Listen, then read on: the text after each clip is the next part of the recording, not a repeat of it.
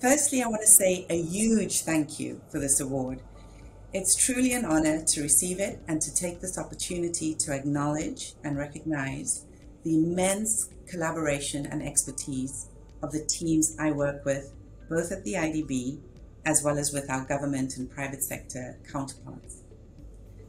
As a team leader, I work hard with the teams, both in the IDB and in country, and our counterparts, to get investments to a bankable state, ensuring the right technical and economic requirements, as well as environmental and social safeguards. I want to be part of the energy projects that are cleaner, that are have less CO2 emissions, that lower cost to households and businesses, and investments that withstand storms and floods. And because we're in the fourth industrial revolution, where connectivity, data, and automation is critical, I try to ensure in the designer projects that we incorporate modern digital systems that will eventually enable more interaction with customers.